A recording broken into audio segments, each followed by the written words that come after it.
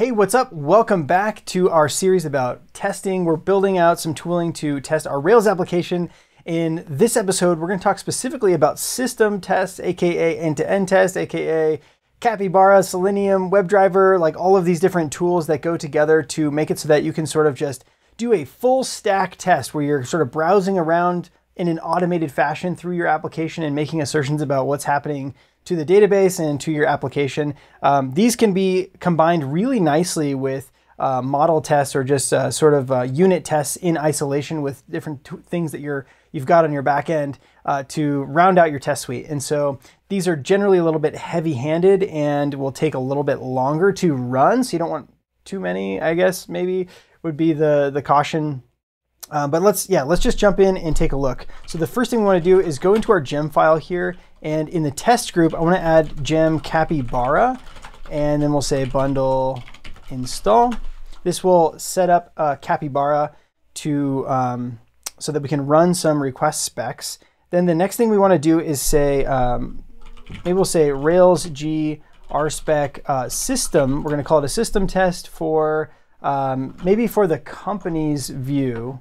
So if we take a look here on the company show page, we have a tool for refreshing the data. When we click this refresh data button, it should enqueue a couple of jobs. We've also got like a, a, bunch of other data that's on this page that we could make assertions that it's actually showing up. So let's make the very first simple test be that we can at least load this page and read that the name of the company is showing on the page somewhere. So let's do that first, and we'll just call this companies um, as our system test. All right, so we'll open up this company's spec and our very first test will say like it loads the show page with the company name. And we'll say we're gonna create a company and we're gonna say create, or company is equal to create company. And we can give it a specific name here. Even name is like uh, test co dot, and then we can say um, we want to visit the company pay, the company path for that company, and we want to assert that uh, expect that the page dot has to have content test co dot. So very simple, very simple test, right? So we want to visit this path for this company that we just created, and then we're going to make assumptions or assertions about the page. So we've got our setup, We've got our exercise, and then we have our assertions again here at the bottom. So let's run this test.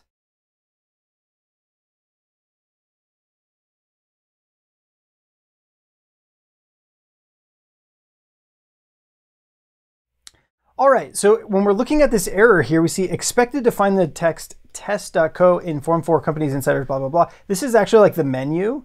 Um, and then we see view notifications, uh, and then down here we see email, password, remember me, sign up, forgot your password. So this is actually returning the authentication page because that company's route requires you to be logged in. Now this can be a point where it gets kind of tricky depending on how you've implemented your authentication system because you might have to like set cookies or mess around with the session in order to, uh, to assert things about um, pages where you require authentication.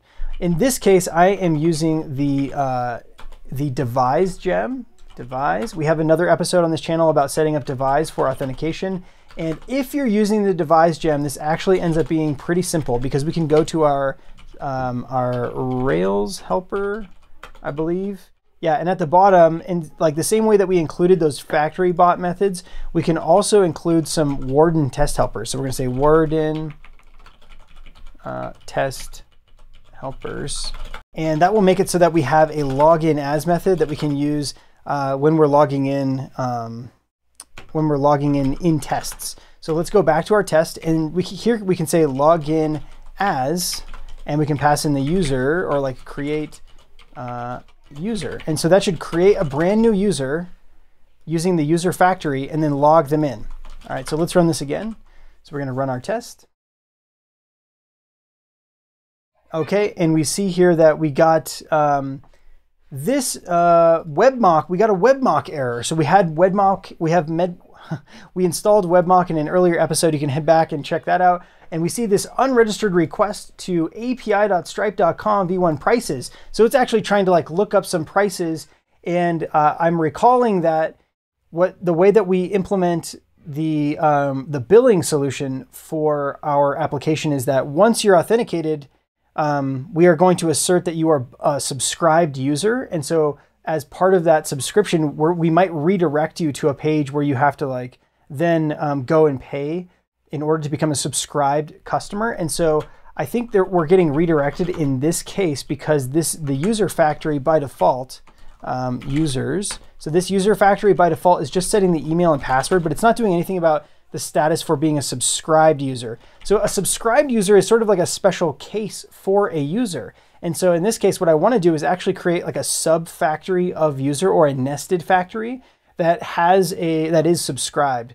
And so if I uh, create a new factory here for a subscribed user, uh, and then I can set their subscription status. So let's look at the user model real quick. And the way that we're telling if a user is subscribed is by checking the subscription status field and ensuring that it is active. So here what we want to do is say that the subscription status is active and that should be returned for subscribed users. So now I can use this name in our test as the factory for creating the user that we want to log in as, and that will successfully set both its email password and also its subscription status. So let's go back over here and say um, subscribed user. There's other ways that you can do this too. You can do it with you can work with traits. So you can say like create user with uh, subscription or something, and that would create it with its uh, subscribed traits. But this is the way that I know how to do it. Um, okay, so now it's successfully loading that page. Let's go to the company show page, uh, comp show, and let's actually just remove the, the company name temporarily um, so that we can make sure that this is actually passing our test. So we're going all the way out to the template, to the view template for our company show page, remove the name so that we can rerun our test and we see that it is now at least showing us the right stuff. Um, so now we can put the company name back in there, run our test, and it should pass.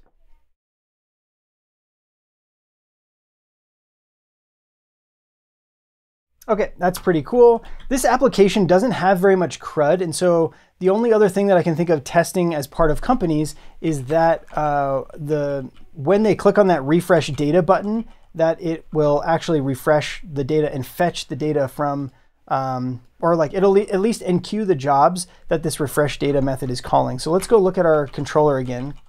Com company's controller here. So we have this update method, which is called when they click refresh data. And that is enqueuing these two jobs. One is to fetch the prices for the company. That's one API endpoint on AlphaVantage. The other is to fetch the overview, which is a separate API endpoint. And so when um, inside of our test here, we can say like it uh, enqueues jobs to um, refresh data. And in this case, again, we need to log in and again, we need to create a company and we need to visit the same path. But now we're gonna do something different here and we're gonna say, um, after we visit the path, we also want to click on, the, so this is the button we wanna click on, refresh data refresh data. And it's as simple as just passing in the string or text value for what's on the button. Um, you can say click button to be more specific about a button, but here I'm just saying click on because I don't have any other refresh data content on the page, so that should work. And then I want to assert that these two things were enqueued. So like um, I want to expect that uh, this job dot to have been enqueued and also the company overview job. So those are the two things I want to assert. I'm actually just going to comment them out now and then run our test and it should fail because we are not actually enqueuing those.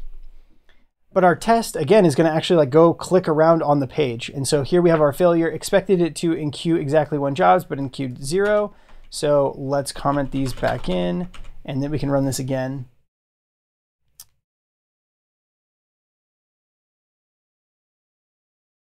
All right, now it's enqueuing our jobs. So now we have a test. These are like E to E tests. So you can do things like fill in forms. Again, this application is does not have very much CRUD. It just has that one button, but you can go and like fill in form fields and um, yeah, you can upload files and do all kinds of fun stuff with Capybara. But hopefully this will get you started, especially if you're using Devise, knowing this login as trick can come in handy. And again, we're mixing it with our factory bot setup that we did in a previous episode. So this, uh, this sort of rounds out all of the testing that I want to show with RSpec and how I generally will test all of my applications. Uh, in a follow-up, we might go through the process of how you set uh, GitHub Actions, set up GitHub Actions to run your RSpec tests. Um, but uh, yeah, until then, thanks so much for watching and we'll see you in the next one.